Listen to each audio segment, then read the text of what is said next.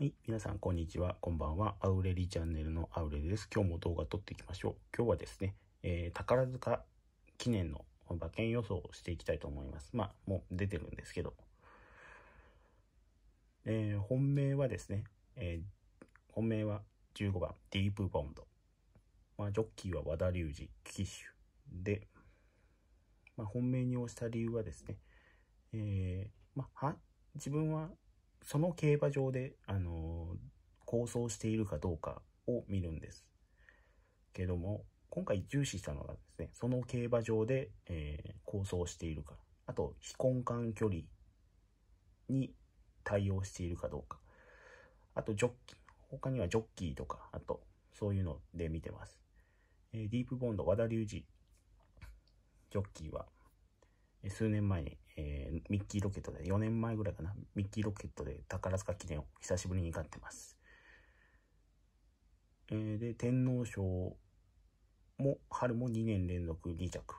で、あ、去年の有馬記念も2着。でかですから、あ、非根幹距離っていうのは、あの、ですから、1600、2000、2400が根幹距離なんですけども、2200、今回宝塚記念2200メートルで行われやます。宝塚記念の2200メートルだとか、有馬記念の2500メートルだとかを、あの、非根幹距離って言うんですけども、ディープボンド有馬記念2着に来てます。非根幹距離です。なので、プラス、あの、阪神で馬券を、あの、外したことがないということ、さらに和田理騎手ということで、えー、今回本命に押してます。続いて、対抗ですね。対抗はタイトルホルダーです。まあ、天、菊花賞、昨年の菊花賞、そして今年の天皇賞春と G1 勝ってるんですけども、えー、年末の有馬記念で、あの、5着に敗れました。で、ですね、あの、その時、あの、まあ、パンサラッサが逃げて、今回パンサラッサも出てるんですけども、もう、パンサラッサ、ドバイターフも勝って世界の逃げ馬みたいな感じになってますけど、パンサラッサが出てるんですけども、えー、有馬記念の時もパンサラッサが逃げてタイトルホルダーが2番手で5着って形なんですよ。今回もおそらくパンサラッサとタイトルホルダーの、えー、花争いになります。花っていうのは先頭なんですけども。そうなると、おそらくパンサラッサの方が逃げると思うんですよ。パンサラッサが逃げてタイトルホルダーが2番手追走って形になると思うんですけど、ここでちょっとペース乱されて、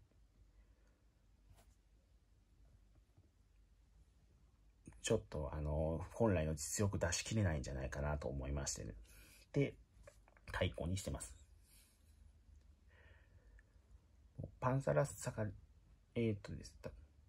やっぱり出走してくる馬との相性っていうのもありまして、あの、世界のジャスタウェイ、ジャスタウェイがもう爆勝ちしたレースって常に天皇賞秋中山記念、えー、ドバイ市、ドバイターフって常にあの、シルポートが出てたんですよ。シルポートの逃げが絶妙だったから、シルポートだっけ？違う逃げ馬かとかもしれないですけど、とにかく逃げ馬が出てたんですよ。キャスターウェイの場合。その時に構想してたんで、その逃げ馬が、えー、いいペースで逃げてたからジャスターウェイが最後差し切れたんじゃないかっていうのが説がささかさやかれてまして、そういう出走してくる馬との相性っていうのもあるんですよ。ですから、あの、タイトルホルダーの場合、パンサラッサの逃げとの相性がおそらく悪いと思うんで、2番手追走になったら、本来の実力を出し切れないと思うので、対抗にしました。えー、で、単がな、えー、3番手評価ですね。デデアリングタクトにしました。まあ、正直、入れるつもりはありませんでした。この馬券予想に。ですけど、あの、19年リスグラシュ、2000年、2020年、21年と、えー、っと、クロノジェネシスと、牝馬が3年連続で勝ってるんですね。で、今回出てくる牝馬がメロディーレーン、ウィン・マリリン、そしてデアリングタクト。まあ、この中だったらデアリングタクトだろうというので、3番手評価にしてます。はっきり言います。あの、牝馬だから3番手評価にしたっていう形ですね。デアリングタクト自体は、阪神は桜花賞しか走ってないので、1600メートルなんで桜花賞が。うん、ちょっと、データ的には弱いんですけど、牝馬だですし、まあ三冠牝馬ですから、ここで、ちょっと、馬券内に入ってくるような活躍もあるんじゃないかなと思って、3番で評価にしました。メロディー・レーンは6歳ですし、ウィン・マリーもちょっと、あの、不安があるので、外しましたね。安城松山公平ですね。タイトルホルダーは松屋、横山和夫、ジョッキーです。まあ、松山公平も一時期の勢いはなくなったといえ、このデアリングダクトで確、えー、自信を持ったジョッキーですから、あの、横山武史とか北村雄一とか、えー、松山公平ジョッキーには、あの世代交代を願っているので、こういう、そういう意味も込めて3番で評価にしてるっていうのもあります。続いて連、連下は2頭、えー、13番のアリーボ、そして18番のポタジェ。アリーボは滝豊ジョッキー。えー、大阪杯にて3着に入ってます。まその前の、えー、レースを、ね、2連勝して大阪杯3着っていうの。で、勢いはまだ衰えてないんじゃないかなって。あのラブリーデー2015年、ラブリーデーが、まあまあ、あの時のラブリーデーと比較するのはおこがましいですけど、ラブリーデー重賞勝ちまくってたんで、その勢いで宝塚記念をもう勝っちゃうっていう馬って結構いるので、まあね、ラブリーデーの再来とは言いませんけども、アリーボ、まだ勢いは衰えてない。竹豊ジョッキーもダービー勝って、今年、久々さんにダービー勝って。勢いがありますから、ジンバとも勢いがありますから、このレーンスターっていう評価にしてます。ちなみに、2015年のは、自分当てさせていただきました宝塚記念。宝塚記念と自分相性が比較的いいので、馬券何回か取ってるのは宝塚記念なんで、その時ラブリーデーとデニムルビーがに2着が突っ込んできて、で、かなり、あのー、儲けさせていただきました。だから、このデアリングタクトっていうのは、そのデニムルビーみたいな意味合いも込めて入れてるっていうのも強いですね。で、続いてポタジェ、同じ連鎖ポタジェ。ポタジェは大阪杯勝ちました。まあ8番人気で、レイパパレーに勝って。まあぶっちゃけ、まぐれなんじゃないかな、フロックなんじゃないかなっていうのも考えたんですけども、安城が吉田隼人、ジョッキー。まあ、ソダシの主戦ですよね。吉田隼人ジョッキーゴールドアクターで2015年の有馬記念勝ってます。で、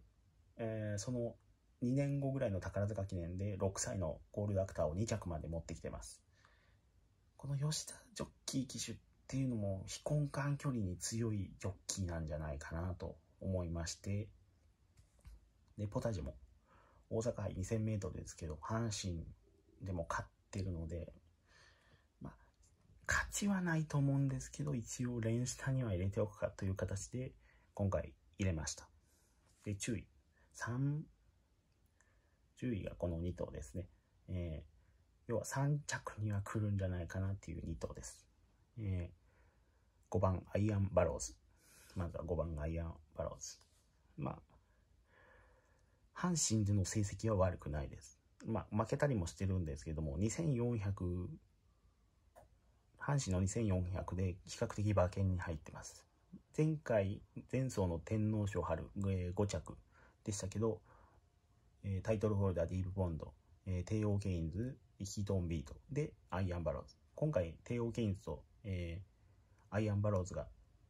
出てないので、あ、ヒートオンビートか。ヒートオンビートが出てないので、要は3番手。点じゃあその2頭を除いたら3着だったよねっていうことで、えー、アイアンバローズを入れてます。安城が誰だっけ？アイアンバローズの安城、あ、石橋か。石橋ジョッキーもラッキーライラックとかで大阪杯勝ったりしてるので、あとエリジョとかも、うん、大阪で開催されてたエリジョとか勝ってるんで、あ、でもその時もう石橋ジョッキーじゃないのか。まあ、石橋ジョッキーも自分は期待してるジョッキーなので、ここのアイアンバローズ。しかもアイアンバローズ今17番人気、16番人気なので、あのー、比較的美味しいんですよ。そういうので入れてるんですよ。もしこれが明日当日、えー、人気がグワンって上がってたら、もうちょっと切る可能性が高い馬です。正直一番悩んだ馬です。人気が、もし10番人気ぐらいに上がったら切る可能性があります。最後、注意。10番、シーグラス。シーグラスはですね、去年、やっぱり、中山記念、中山、あ中山金杯、中山記念と、連勝して、あ、第2のラブリーデーになるんじゃないかってみんなが言ってたんですけども、その後なぜか、まあ、休養して、で、天皇、秋に天皇賞秋に出てきて、まあ、あまりいい成績じゃなかったと。松山公平ジョッキーが乗ってましたね。今回は、今回乗るのがダミアン・レーンなんですよ。えー、っと、去年の香港、去年の香港カップ3着に視野が入ってるんですけども、その時は、その時も、えー、モレイラか。その時はモレイラが乗ってます。比較的ね、このヒシガス、外国人ジョッキーをよく乗せてます。そんなので、6歳、正直、6歳以上は自分切るんですけども、無条件で。あの、春、3、6歳春までならば、あの、馬券に絡むことがあるので、今回、特例でシーガス入れてます。期待もう期待してた馬ですし、第2のラブリーデーになるんじゃないかって期待してた馬ですし、ダミアン・レーンが今回乗りますし、まだまだ馬券に入ってくる力はあるんじゃないかなということで、シーガス今回入れさせていただきました。おさらいすると、えー、本命、ディープボンド、対抗タイトルホルダー、えー、タンガナ3番手、デアリングダクト、で、連した2頭、アリーボ、ポタジェ。で、3着まで10位にアイアンバローズを引きシーグラスってこんな感じですね。うん、まあ、買い方としては、3連単、あ、間違った。3連服を自分、毎回買ってます。3連服で時空一頭流しみたいな形で、毎回買ってるので、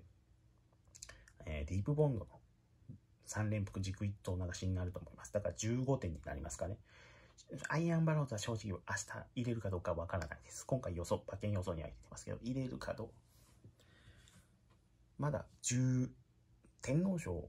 春の時に、あの、3番人気、5番人気、4番人気ぐらいだった馬が、今回16、7番人気になってるわけですから、これからちょっと穴党が買うかもしれないの、馬券、あの、人気が上がっちゃうかもしれないので、えー、この馬はどうなるか分かりませんけど、一応、ディープボンド軸の3連複、ボックス、5等ボックスか6等ボックスになるかわからないですけど、そういう買い方をしたいと思います。えー、今回の、今回は宝塚記念の馬券予想をしました。えー、よろしければ、いろんなジャンル、ちゃん動画上げてるので、チャンネル登録よろしくお願いします。それでは以上です。ありがとうございます。